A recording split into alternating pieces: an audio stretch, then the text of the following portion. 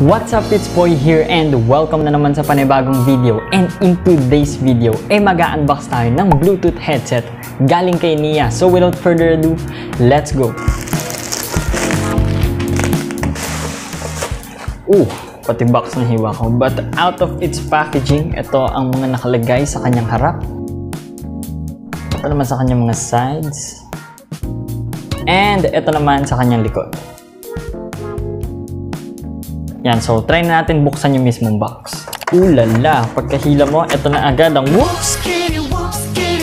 Pagkahila mo sa mismong box, makikita mo na ang mismong unit natin na yung headset. Nandito muna natin yan. And may libre silang power cable para ma-charge mo yung unit. And dito naman sa likod, sa likod pa niya, nandito ang kanyang operation manual. So, hindi natin yung babasahin syempre. And nga pala, may napansin ako sa taas ng kanyang box, may pwede kang i-scan na QR code para may ida-download ka na app sa Apple App Store man yan or sa Play Store para mas ma-utilize mo yung paggamit sa kanya. So, hugutin na natin siya. Bam! Oh, ang liit. Paano masabi? Bakit ang liit niya? Kasya ba sa akin? Na-extend ba to? So hanggang dito lang siya? Na. Oo, ayun, na-extend. Natin extend all the way and suot natin. Kasya ba? Sana magkasya? Oo, kasya naman. Try natin siya i-power on. Saan ba yung button dito?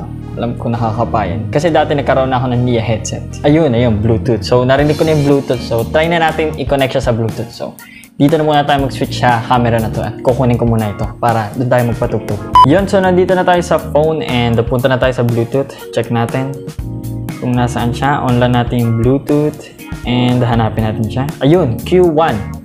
So, pindutin natin Q1 and wait lang natin. Pair lang natin siya.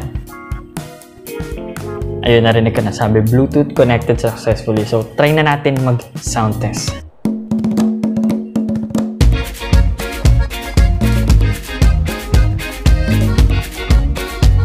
Wow, wow, wow. Wait lang.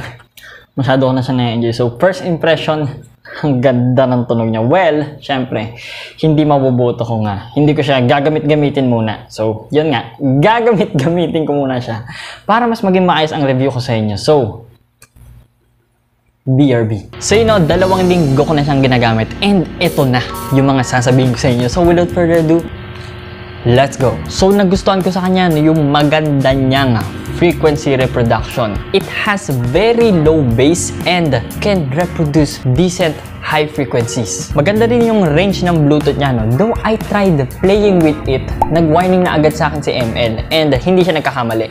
Nung ginamit ko to eh, yung ping ko simula 5ms, naging 50ms. So, medyo bumigat yung uh, paglalaro ko sa ML and dinisconnect ko na siya agad para ma-maximize ko yung paglalaro ko. So, I really do not recommend this kapag naglalaro ka. Pero ikaw din, kung okay ka sa 50ms, gamitin mo. Pero don't worry kung ayaw mo talaga sa medyo mataas na ping eh, dual function naman siya, no? Pwede siya Bluetooth at pwede din siyang wired. Though mas maganda lang yung tunog ng Bluetooth niya dahil sa extra power na binibigay ng kanyang battery. Pero kung wala kang cellphone, pwede mo pa rin itong gamitin. Meron siyang saksakan ng SD card para makapagpatugtog ka pa din. Meron din siyang call answer button and mayroon din siyang microphone. Na-adjust din yung kanyang headband, no? So, mukhang maliit, pero baka magkasya naman sa'yo. Try mo muna. And syempre, nakakatuwa na meron silang palibre na micro USB cable para ma-charge mo siya. Kaso nga lang, 2 hours lang yung kanyang battery life. Well, for me, bitin yon. And disclaimer lang ah, yung battery life nito eh, depende yun sa usage nyo. Ako kasi I always max it out, kaya yun siguro yung dahilan. Ba't 2 hours lang yung inaabot sa akin nito? Di ko rin nagustuhan no, na maliit yung kanyang earmuffs. Medyo uncomfortable siya lalo na kapag matagal mo na siyang sinusuot. Medyo naglalak rin siya ng very, very slight sa detail sa kanyang sound quality. Pero hindi naman yan big deal para sa akin. So for the conclusion, for 300 pesos eh, pwede na to.